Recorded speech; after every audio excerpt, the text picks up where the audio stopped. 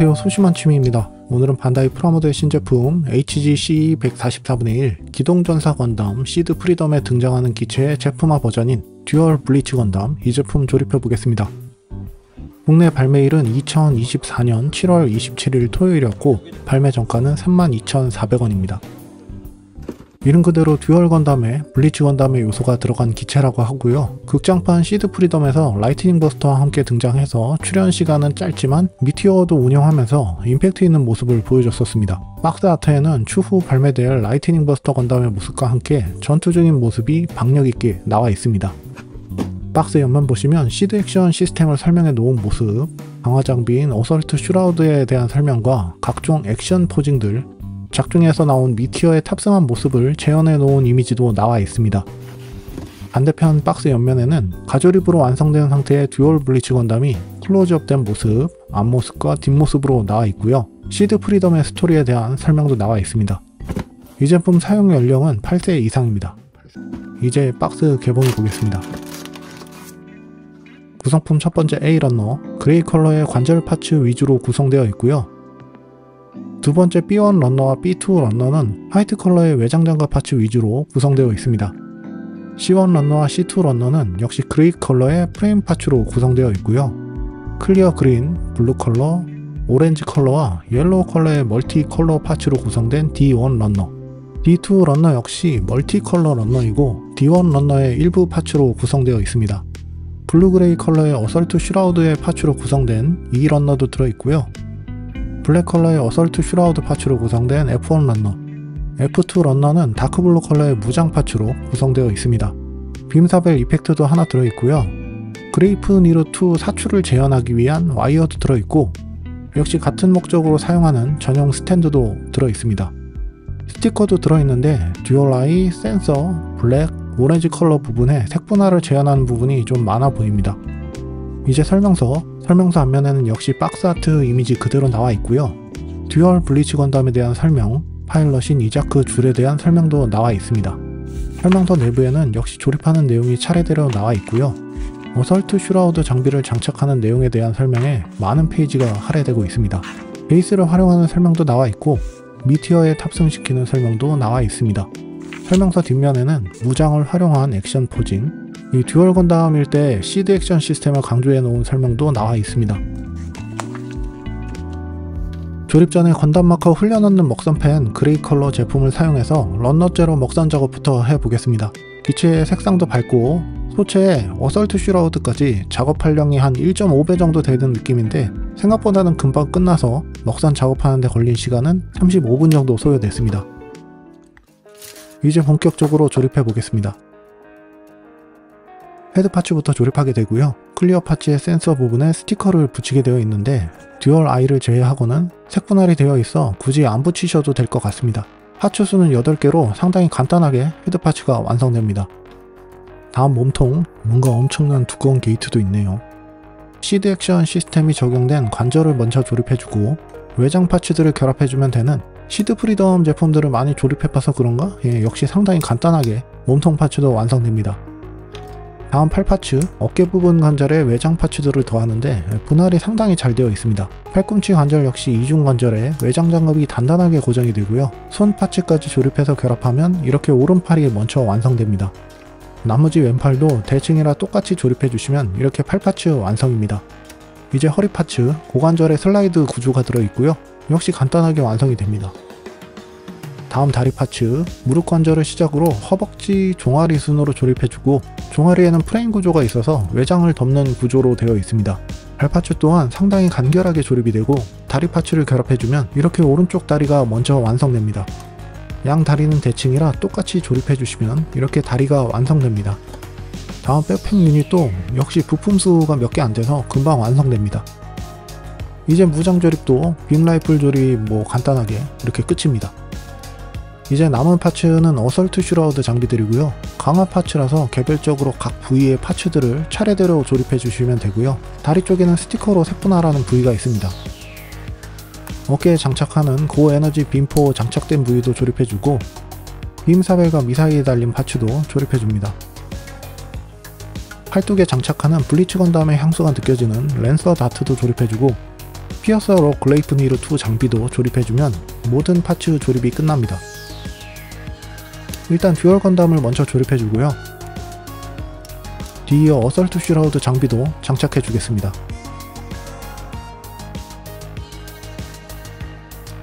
이렇게 조립이 끝났고요. 완성 리뷰로 넘어가 보겠습니다. 네 이렇게 반다이 프라모델 신제품 HG144분의 1 듀얼 블리츠 건담 조립해봤습니다. 가조립, 먹선, 동봉된 스티커를 붙여서 작업했고요.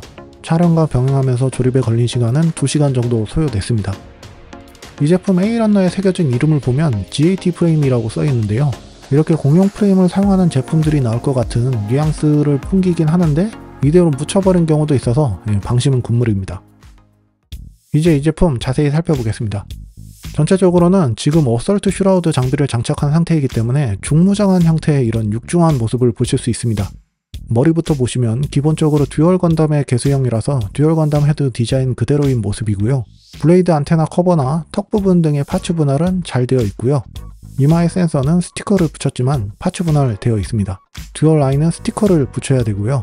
옆부분도 접합선이 달랑 몰드 처리된 모습이고 뒷부분의 센서도 스티커가 붙여있지만 parts 분할이 잘 되어 있습니다. parts 수가 작아도 이 디테일은 잘 살아있는 모습입니다. 시드 액션 시스템인 목 관절, 볼 관절로 연결된 부분은 특유의 움직임이 가능하고요. 앞으로 깊숙이 숙이고 뒤로 젖히는 가동 범위가 넓습니다. 아무래도 어설트 슈라우드 장비를 장착한 상태라 장갑 쪽에 파묻히는 느낌은 있지만 가동 범위는 괜찮은 편입니다. 몸통도 일단 어설트 슈라우드 장갑으로 둘러싸여 있고요. 옆구리 쪽에 듀얼 건담의 형태가 보이도록 구현되어 있습니다. 장갑을 탈착한 모습은 이따가 살펴보도록 하고요. 뒷부분도 백팩에 장비를 장착한 형태인지라 상당히 두툼해 보이고요. 백팩 위에 장갑은 좀 밋밋한 디자인이긴 합니다. 이 옆부분은 탈착하면 듀얼 건담 형태에서 빔 사벨을 수납하는 형태로 되어 있는데 아귀가 딱 맞아 떨어지게 잘 조형된 것 같습니다. 몸통이 장갑 때문에 상당히 두터운데 이 시드 액션 시스템이 탑재된 허리 관절이 있어서 옆으로는 크게 좌우로 움직여지는 모습이고요. 장갑으로 인해서 앞뒤로는 가동이 좀 어렵습니다. 허리 쪽과는 볼 조인트로 연결되어 있어서 회전도 가능합니다. 팔 부분도 보시면 어깨에 큰 장비를 장착한 형태인데 설정대로 각각 무장을 수납한 형태이고요. 어깨 앞뒤로도 장갑이 덧대어진 모습이고 전체적으로 어설트 슈라우드를 장비함에 따라 상당히 둔탁한 느낌을 주고 있습니다. 안쪽의 팔은 뭐 일반적인 형태이고 양팔의 각각도 그레이프니르와 랜서 다트가 장비되어 있는데 이 부분도 이따가 동봉무장 설명에서 자세히 알아보겠습니다. 어깨 같은 경우 가슴과 연결된 시드 action system이 있기 때문에 안쪽으로 접었다 피는 가동 범위가 상당히 넓은 모습이고요. 이중 관절로 인해 위아래로도 가동이 가능합니다. 어깨 장갑도 별도로 가동 가능하고요. 어깨에 달린 side armor도 별도로 가동 가능합니다. 이 팔에 뭔가 주렁주렁 달려있지만 어깨에 360도 회전 충분히 가능하고요. 옆으로 올리는 각도는 어깨 장비에 걸려서 45도 정도밖에 안 올라갑니다. 팔 상박을 기준으로 회전하는 포인트가 있는데 360도 회전이 되지만 팔뚝의 무장이 간섭이 되는 점 주의하셔야 되겠고요. 팔꿈치 접는 각도는 이중관절로 되어 있기 때문에 접는 각도 자체는 상당히 많이 접혀지고 있습니다. 손목 같은 경우는 뽑으면 상당히 헐거워지는데 꼽은 상태에서는 고정성이 좋기 때문에 이렇게 회전 정도만 가능할 것 같습니다. 전면 스커트에도 어설트 슈라우드 장비를 덮은 상태고요. 오렌지색 부분만 스티커로 색분할이 되어 있습니다. side skirt는 ball joint로 연결된 하얀색 parts로 구성되어 있고요. 후면 스커트도 어설트 슈라우드 장비가 탈착형으로 덮어져 있습니다.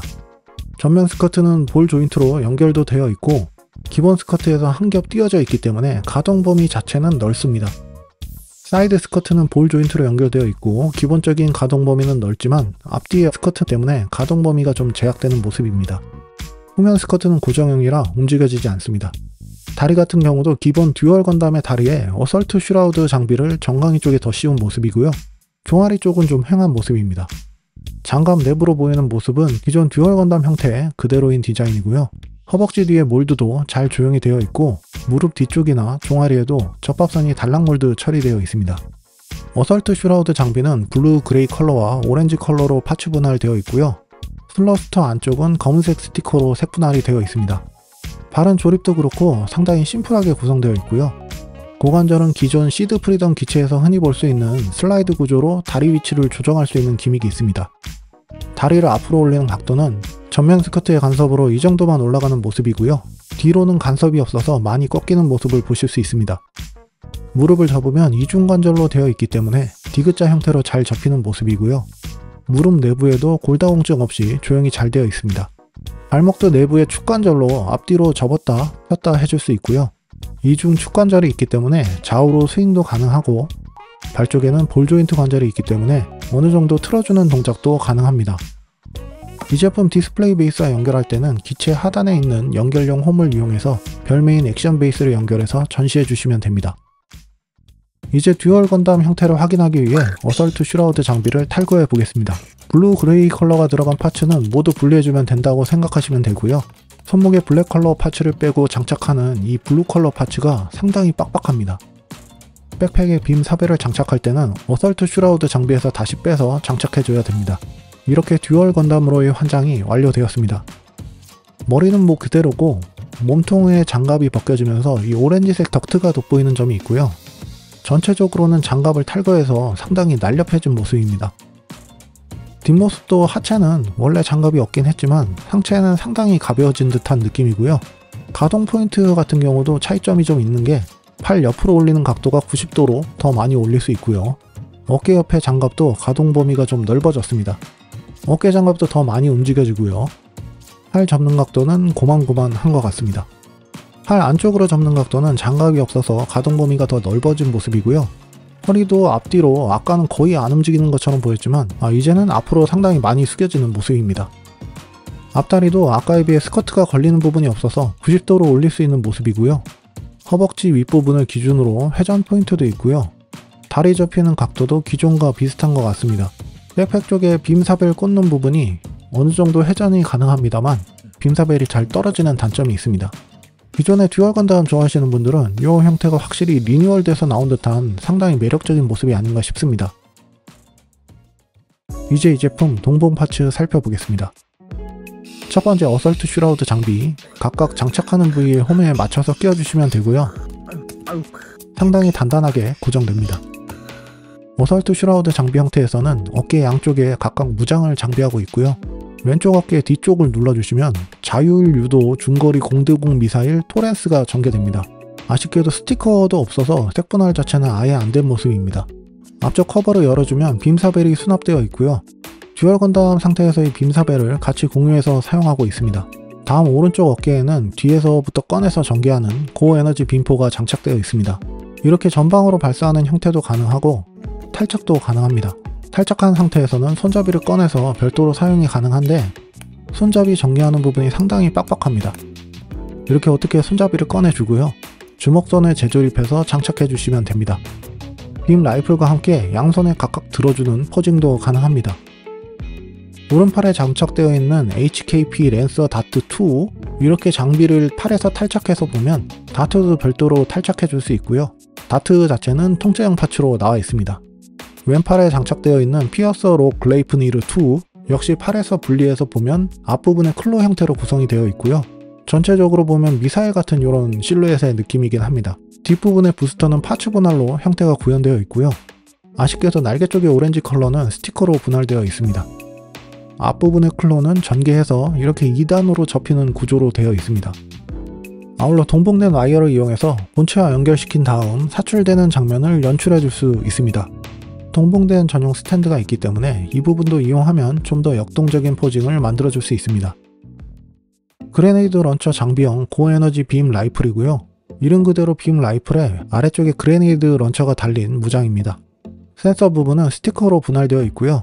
조형 자체는 디테일 있게 잘 나온 것 같습니다. 장착할 때는 손잡이에 주먹손 parts를 재조립해서 결합해 주시면 됩니다. 마지막 무장인 beam saber 마그나 섹티오라고 하고요. 어설트 슈라우드 장비를 장착한 상태에서는 어깨 장비에서 뽑아서 꺼내주시면 되고 듀얼 건담일 때는 backpack에서 뽑아주시면 됩니다. 동봉된 effect parts를 결합해서 이렇게 beam이 발동된 상태를 만들어줄 수 있고요. 주먹손에 바로 끼워서 장착해 주시면 됩니다.